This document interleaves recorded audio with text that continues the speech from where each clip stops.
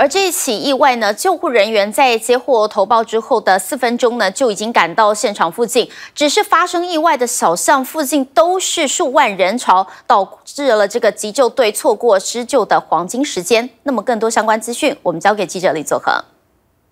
好，南韩梨泰院的踩踏事件哦，其实观众朋友知道吗？这个救援的地方跟事发的地点是距离只有短短的两百五十公尺，可是为什么没能来得及救回他们的性命呢？我们就来看到哦，主要还是有两个因素。首先，第一个就是现场的环境哦，都是一些比较狭窄的地方；另外一个呢，就是呢，这个人潮真的是太多了，因为当天其实是万圣节，所以很多人是去那边来。来庆祝万圣节的，那说呢是有涌入十万人都挤在这个狭小的巷道之内。首尔的综合防灾中心，他们是在晚间的十点十五分的时候，其实就已经接到很多通的报案了，说有很多人倒地，而且没有了呼吸、心跳。那当然呢，也随即就出动要来救援，也非常的快，在四分钟内就赶抵了现场。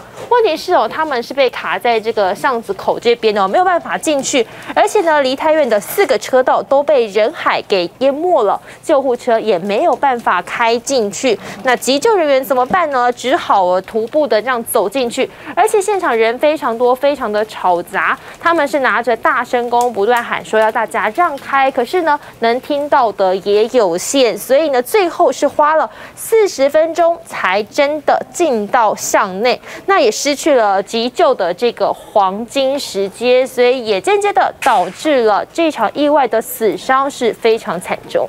万圣节这起推挤的事件也引发讨论，一群在当地游学的学生就认为，意外的发生可能多少和韩国人的文化是有关系的，到底怎么回事？再交给左恒。好，这个梨泰院的踩踏事件引起了很多人的讨论哦。那是不是也跟民族性有关系呢？因为很多到这个南韩游学的学生，或者是呢长期在这边有追星的人呢，都提到这个问题哦。像是就有网络上呢，台南的在韩国游学生，他就提到说。韩国人他们在万圣节确实就有一个习惯，是会到梨泰院来庆祝。所以呢，尤其这一次哦，又因为解封，所以很多人呢都跑到梨泰院了。当时是涌入了十万人，就像台湾人会跨年去一零一，这是一样的道理。那么呢，这是一个习惯问题，它没有一个主要的活动，也没有一个主要的主办单位。那过去当然也发生过推挤的意外，只是没有这么严重而已。另外还有南韩的游。留学生也提到说，发生意外可能是不是跟韩国的文化有关系呢？因为韩国很讲究这个尊卑长幼，所以什么事情都喜欢是一群人聚在一起。反而说，如果你拒绝不要去参与的话，变成是不合群的。那这个民族性跟文化就是变成会多挤的地方，还是得去。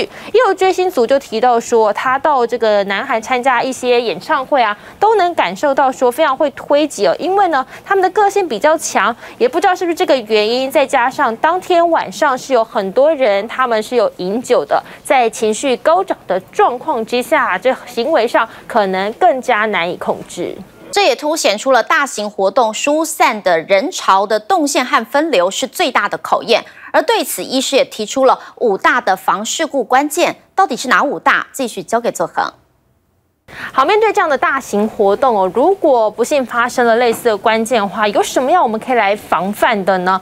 马街的灾难医学科主任张国颂他就提到说，对一个活动来讲，最大考验其实就是散场的人潮以及如何疏散分流。比方说呢，像是我们跨年的时候啊，或者是呢一些比较大型的演唱会等等哦。那么最常发生的其实就是推挤意外了。地点大家也可以特别来留。一下，因为像是斜坡，就是这一次梨泰院事件，它就是一个斜坡的地方。还有就是下楼处以及狭窄处都很容易发生推挤的意外。如果呢是女性以及身材比较矮小的人，也要特别当心，因为他们承受的压力是更大的，很容易会缺氧、呼吸困难。造成压迫性的窒息。